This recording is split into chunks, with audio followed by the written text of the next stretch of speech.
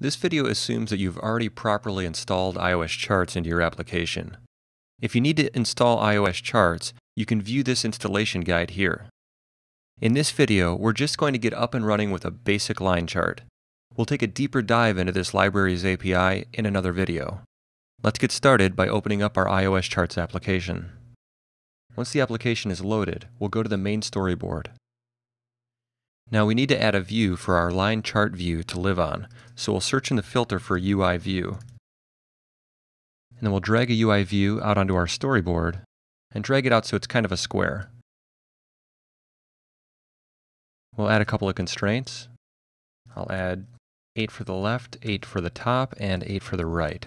And then we'll just have an arbitrary height. It doesn't really matter for this example. And then we'll add our four constraints. And then next we're going to go ahead and add a button, which we'll use for randomizing our chart. So we'll drag the button out there, and we are going to set the name to randomize. Now before we move on, we need to add our line chart view class to this UI view. So we'll go over to the identity inspector and we'll set our class to line chart view. So now we can open up our assistant editor and drag our IB outlets and IB actions to our view controller. So I'll start with the line chart view. Control drag from the line chart view to your view controller and create an outlet named line chart view and click connect. Then after that, well actually Xcode's going to complain because we didn't import our our charts library. So we'll type import charts at the top, and we should see our error go away. Next, we'll add an IB action for our randomize button by control dragging from our storyboard to our view controller. And we'll name it randomize. Make the connection type action and change the type to UI button and click connect. Now that we have that set up, we can close our assistant editor and navigate to our view controller. So the first thing we're going to do is create a function named setChartValues.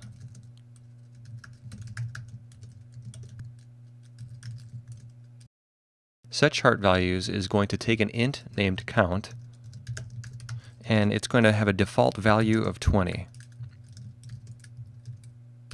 We'll go ahead and call this setChartValues from our viewDidLoad and we won't pass anything in. So when our chart first loads, it's going to have 20 entries in it. I'll go ahead and paste the code in necessary to add data to our chart and then break it down. So our chart line view expects a line chart data object to provide data to the chart.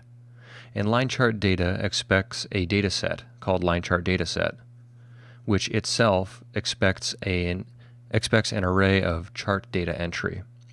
So what we're doing with this method is we're passing in a random number or no number, which in that case will be 20. We're going to pass in that number and it's going to generate a range of numbers between 0 and whatever that number we passed in is. And then we're going to map those numbers into chart data into chart data entries, which are going to be stored in this values constant. So we're going to pass this constant into our line chart data set, which gets passed into our line chart data and then gets added to our view. So the last thing that we need is our randomize function. I'm going to go ahead and paste that code in now.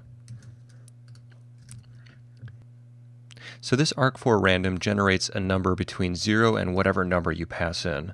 And we always want our chart to have some data, so we're going to add 3 to that. So it, this could be this could generate anything between 0 and 20 values, and then we're going to add 3 to whatever that value is. So then we pass the result of this operation into our set chart values method and it generates our chart data.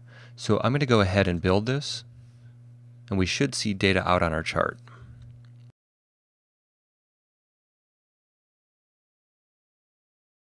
And we see we've got 20 values printed out onto our chart. If we hit randomize, we can see that this number changes each time. So this is just the bare bones, no configuration version of the chart. In the next video, we're going to dig deeper into this API and uncover some of the cool things that we can do with this line chart view.